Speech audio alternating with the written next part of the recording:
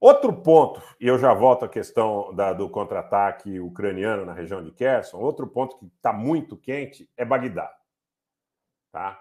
Bagdá. E eu vou dizer uma coisa para vocês. O que está acontecendo em Bagdá?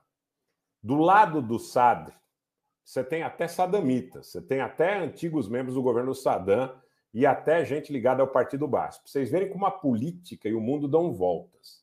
Tá? Vou colocar agora, Rafael, vou, vamos tentar enquadrar. O governo ele tem é, setores que são muito ligados aos iranianos. O Sadr já foi, de alguma forma, ligado, pelo menos, aos interesses do Irã no momento posterior à queda do Saddam. Quem lembra do momento onde o Saddam foi enforcado e, é, no momento que ele está no cadafalso, ele fala contra o Moqtada. Então, Moqtada tinha um alinhamento né, com esses setores xiitas, Moqtada, Sistani, é, esses grupos ligados aos iranianos, ligadas hoje, por exemplo, ao Rashid al-Shab, as PMUs, existia uma identidade.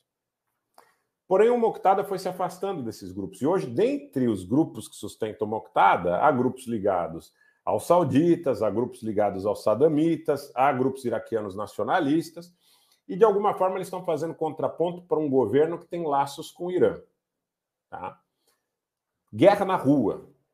Grande, Armando. Muito bom, muito bom. Que o seu exemplo seja repetido.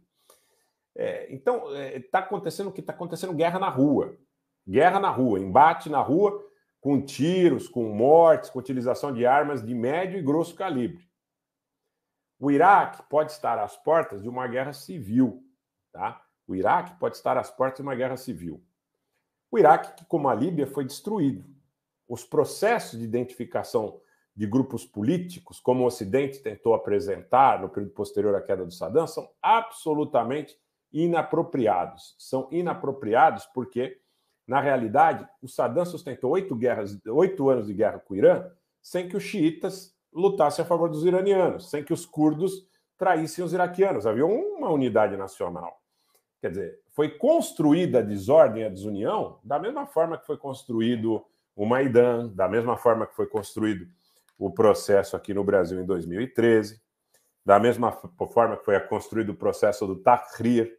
Eu não acho que o Moqtada se vendeu, até porque o Moqtada, Afonso, ele está agora falando em fazer uma greve de fome para que os seus simpatizantes não, não participem mais dos conflitos. Mas a coisa já, já pegou fogo, tá? Pegou fogo. Dividir para reinar. Por isso que eu sempre falo aqui para vocês: não façam isso com o Brasil.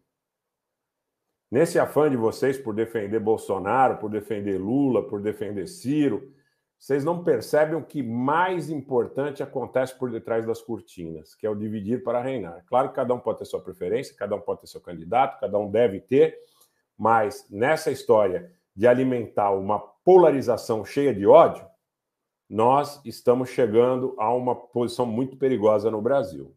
Fica o alerta de alguém que tem vivência e conhecimento para fazer